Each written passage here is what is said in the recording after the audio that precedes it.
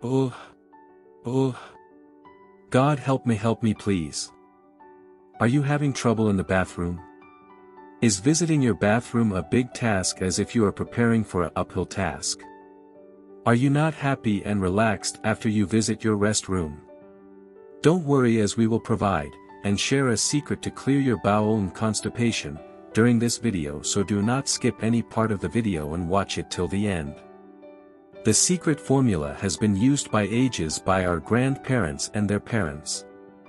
If you benefit from the secret then please subscribe, share and spread the happiness and comment below. Overview Constipation. Chronic constipation is characterized by irregular bowel motions or trouble passing stools that lasts for a few weeks or more. Generally speaking, constipation is defined as having less than three bowel motions per week. Even if it happens frequently, some people have chronic constipation that makes it difficult for them to carry out their everyday activities. People who are chronically constipated could also strain too much to pass a bowel movement. The underlying cause of chronic constipation influences treatment options in part. But occasionally, no cause is ever identified. Symptoms Passing fewer than three stools per week, having lumpy or hard stools, straining to have bowel movements, feeling as though there is a blockage in your rectum preventing bowel movements, and feeling as though you can't completely empty the stool from your rectum are all signs and symptoms of chronic constipation. You may also need assistance emptying your rectum, such as using your hands to press on your abdomen and a finger to remove stool from your rectum. If you have experienced two or more of these symptoms over the past three months, your constipation may be regarded as chronic. If your bowel habits alter suddenly and persistently, schedule a visit with your doctor. Causes the most common causes of constipation are when waste or stool goes through the digestive tract too slowly or cannot be efficiently evacuated from the rectum, which can result in the stool being hard and dry. There are numerous potential causes of chronic constipation. Obstructions in the rectum or colon. Stool movement may be slowed or stopped by obstructions in the colon or rectum. A blockage in the intestines, bowel obstruction, colon cancer, and small tears in the skin around the anus are among the causes bowel stricture, colon narrowing, additional abdominal cancers that strain on the colon rectal cancer rectum protrudes through the vagina's posterior wall, rectocele. Nervous system issues in the colon and rectum. The nerves that control the contraction of the colon and rectum muscles and the passage of stool through the intestines might be impacted by neurological conditions. Damage to the nerves that regulate biological activities is one of the causes, autonomic neuropathy. Causes include Parkinson's illness, multiple sclerosis, a spinal cord injury, a stroke, a problem with the muscles used for elimination. Chronic constipation may result from issues with the pelvic muscles needed to pass stools. These issues could involve being unable to let go off the pelvic muscles to facilitate a bowel movement, anismus. Inadequate coordination of relaxation and contraction in the pelvic muscles, dyssynergia, muscle weakness in the pelvis. Conditions that have an impact on the body's hormones.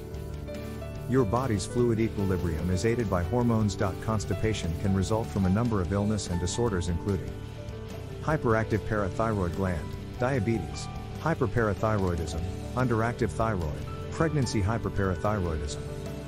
Risk elements Being older, being a woman, being dehydrated, eating a diet low in fiber, exercising little to no, taking certain medications, such as sedatives, opioid painkillers, some antidepressants, or blood pressure lowering medications, having a mental health condition like depression or an eating disorder, and taking certain medications may all increase your risk of developing chronic constipation. Complications Chronic constipation might lead to the following side effects swollen veins in your anus, hemorrhoids. The veins in and around your anus may bulge as a result of straining to go to the bathroom. Skin that has torn in your ear, anal fissure, tiny tears in the anus might be brought on by a large or hard stool. Unable to be ejected stool, fecal impaction. An accumulation of firm feces that becomes lodged in your intestines as a result of chronic constipation is possible. A protruding intestine from the anus, rectal prolapse. A little portion of the rectum may extend and protrude out the anus as a result of straining to make a bowel movement. Prevention Eat a variety of high fiber foods, such as beans, fruits, vegetables, whole grain cereals, and bran, in your diet. Consume less low fiber items, such as processed foods, dairy products, and meats. Be sure to get enough fluids. Try to stay as active as you can, and exercise frequently. Work on stress management. Pay attention to the urge to urinate. Make an effort to establish a routine for bowel motions, especially after meals. Ensure that kids who start eating solids have enough fiber in their diets. Diagnosis Doctors employ the following examinations and techniques in addition to a basic physical examination and a digital rectal exam to identify chronic constipation and try to determine its cause. Blood exams Your physician will examine you for a systemic ailment like hypothyroidism or elevated calcium levels.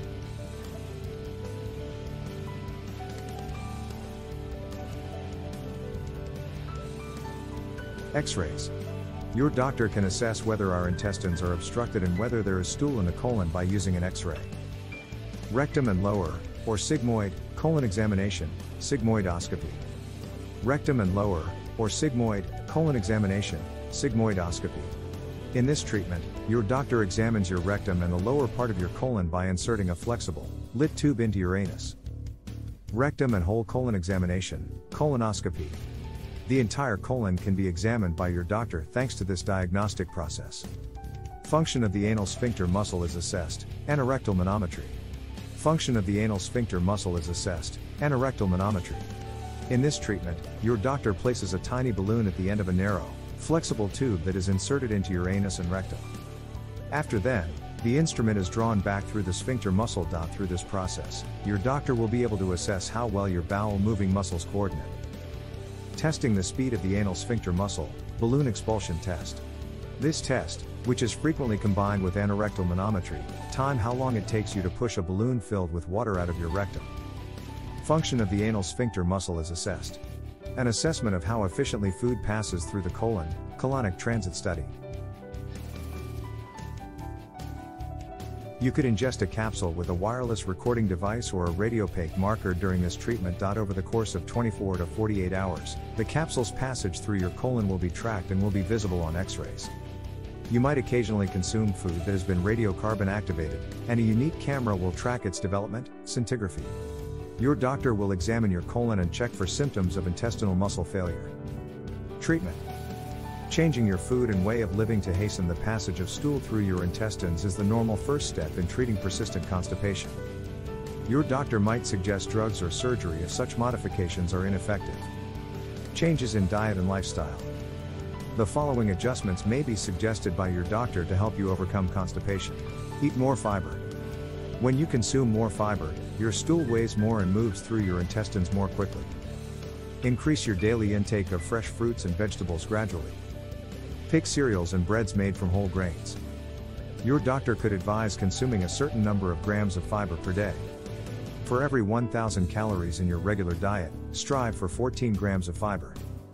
Starting slowly and gradually increasing your intake of fiber over a few weeks will prevent bloating and gas from occurring if you suddenly increase your intake. Work out at least 5 days a week. Your intestines muscles become more active when you exercise. On most days of the week, try to fit in some exercise. Consult your doctor to determine whether you are healthy enough to begin an exercise program if you don't already exercise. Resist the impulse to go to the bathroom. Allow yourself enough time in the restroom to perform a bowel movement without interruptions and without feeling rushed. Laxatives.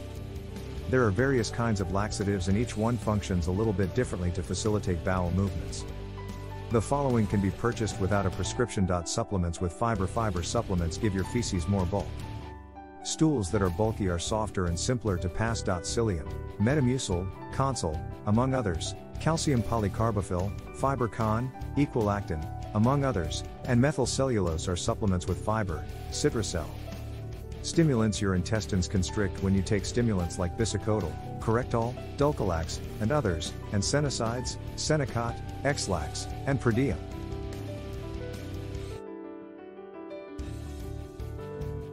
Osmotics, by boosting fluid secretion from the intestines and assisting in the stimulation of bowel movements, osmotic laxatives aid in the transportation of feces through the colon.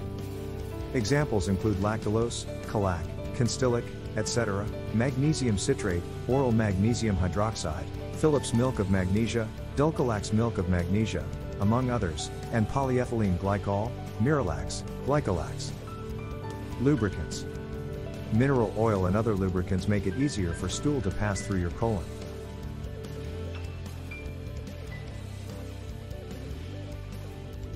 Mood stabilizers. Mood stabilizers. Docusate sodium, Colace, and docusate calcium, Surfak, two types of stool softeners, take water from the intestines to moisten the stool. Suppositories and enemas. Enemas with or without soap suds made from tap water can be helpful for producing a bowel movement and softening stool. By lubricating and stimulating the bowels, glycerin or bisacodyl suppositories also assist in getting stool out of the body. Other medications Various drugs. Your doctor might suggest a prescription drug if over the counter remedies don't relieve your chronic constipation, especially if you have irritable bowel syndrome. Drugs that cause your intestines to retain water. There are several prescription drugs that can be used to treat chronic constipation. Water is drawn into your intestines by the actions of plecanatide, Trulance, lubiprostone, amitiza, and linaclotide, Linzess. The four receptors for serotonin 5-hydroxytryptamine.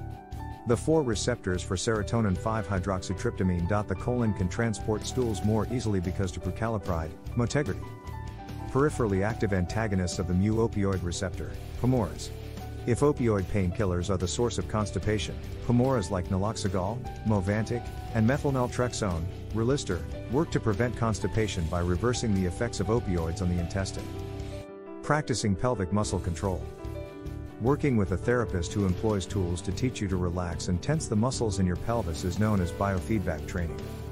During defecation, relaxing your pelvic floor muscles at the proper time can make it easier for you to pass stool. A specific tube, catheter, to detect muscle tension is introduced into your rectum during a biofeedback session. You are led through movements by the therapist to alternately relax and tense your pelvic muscles. A device will determine your level of muscle tension and indicate when you have relaxed your muscles using noises or lights. Surgery. If you have exhausted all other options and your chronic constipation is brought on by a blockage, rectocele, or stricture, surgery may be a possibility. Surgery to remove a portion of the colon may be an option for those who have tried various treatments without success and whose stools travel through the colon abnormally slowly. It is uncommon to need surgery to remove the entire colon.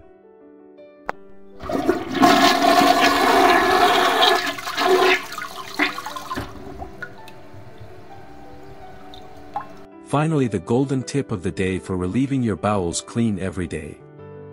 Take 2 tablespoon of castor oil and mix it with a glass of warm milk and consume it for 2 weeks every day 1 hour after your dinner and before going to bed. If you have any allergy to milk please mix it with warm water or black tea and consume. You will find the amazing results. The castor oil will further lubricate your intestines and keep it greasy and smooth enhancing the bowels to be clean and empty. Your mind and body will be charged and you will be energetic and happy throughout the day spreading happiness all the way. Your blood pressure will drop and heartbeats will stabilize keeping you healthy and wise. Keep spreading love and happiness all the places and people around. Cheers.